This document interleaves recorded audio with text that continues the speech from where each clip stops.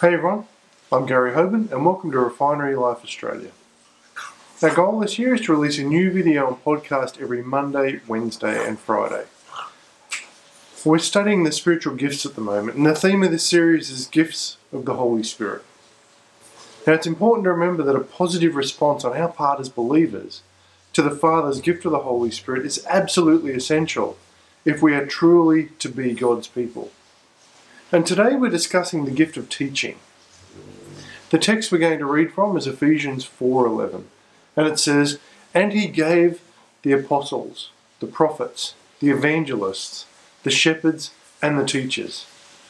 In the scripture reading, if you want to read some more, is Romans 12, 1 to 7. It talks about a living sacrifice. Let's read it now together. It says, I appeal to you, therefore, brothers, by the mercies of God, to present your bodies as a living sacrifice, holy and acceptable to God, which is your spiritual worship. Do not be conformed to this world, but be transformed by the renewal of your mind, that by testing you may discern what is the will of God, what is good and acceptable and perfect. And then it talks about the gifts of grace in verse 3. It says, For by the grace given to me, I say to everyone among you, not to think of himself more highly than he ought to think, but to think with sober judgment, each according to the measure of faith that God has assigned. For as in one body we have many members, and the members do not all have the same function. So we, though many, are one body in Christ, and individually members of one another. Verse 6 goes on to say, having gifts that differ according to the grace given to us, let us use them. If prophecy, in proportion to our faith. If service, in our serving.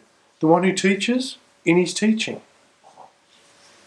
Now, right now, it's sad to say, but there are many believers that seem to be mothballed.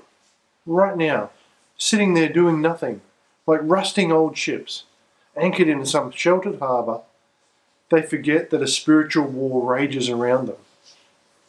The church should not be inactively isolated in some religious river somewhere, but should be out on the high seas fighting the enemy. One gift that many Christians seem to have put in mothballs is that of teaching. With so many children churches, kids' churches, you know, all sorts of parts of ministry and pieces of ministry crying out for competent spirit filled teachers. Or they're complaining because the people they get to come and teach are misfits. Every believer should examine their own life to see whether they possess the gift. If they do, they should start using it. They should start teaching. And if they don't, they should quit trying. If you're not teaching God's word, don't teach. It's simple. But in the subject of today's message, as I said, is the gift of teaching. So we need to look at some of the assumed facts concerning teaching. Because you're a school teacher may not mean you're going to be a good Bible teacher. Teaching is the imparting of knowledge. I think we can all agree on that. And this definition would be applicable in any field. But when it comes to spiritual things and the work of the Spirit, teaching is imparting knowledge in regard to the Bible. Teaching is closely related to preaching. Preaching is directed to the will, it involves persuasion and exhortation. And teaching is directed to understanding. Its method is explaining and clarifying. Unfortunately, teachers in churches are often pushed down and kept in the corner in favour of preaching, but the two are required together. Teaching is a gift greatly needed in the churches today. A knowledge of God's Word is always a must. A knowledge of Jesus is, is of paramount importance. Therefore, all churches need to be controlled, or be filled, sorry, with spirit controlled teachers. So, what's the definition of the gift of teaching?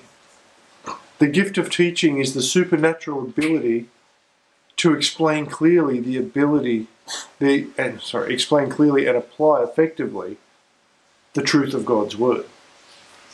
The terms that need to be these terms need to be separated and discussed. The gift is a spirit, supernatural gift, it's a spiritual gift. All people who teach well do not necessarily have the gift of the Spirit. Their ability may just be a talent. The supernatural natural gift, however, will likely be built on talent. We need to remember that. To adequately grasp the meaning of this gift, we need to distinguish between talent and spiritual gift. Talent is present from natural birth, but the gifts are present from spiritual birth. Talent operates through the common activities of society, and spiritual gifts through the special grace of the church. Talent communicates any subject, but the gifts communicate biblical truths. Talent often leads only to an understanding of the subject, but gifts prepare for involvement and obedience.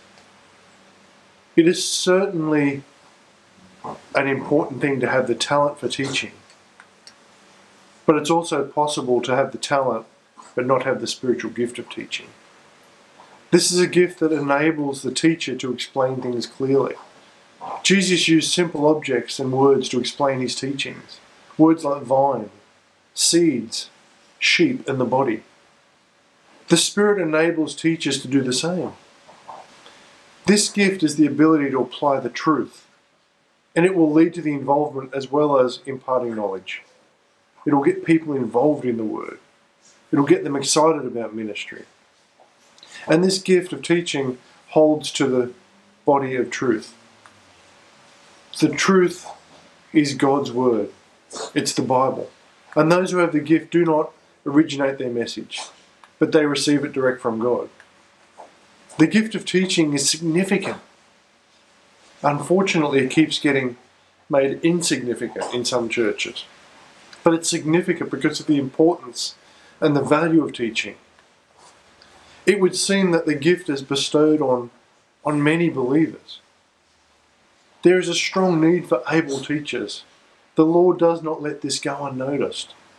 Rather, He bestows this gift on as many teachers as He needs, but only those who are willing to use it.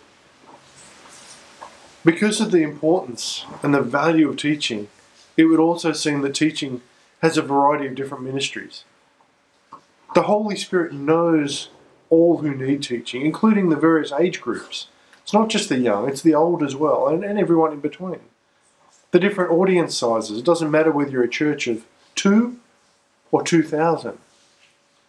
It doesn't matter about cultural and educational levels. The Holy Spirit knows who needs teaching. And He enables a necessary number of teachers to help reach these people.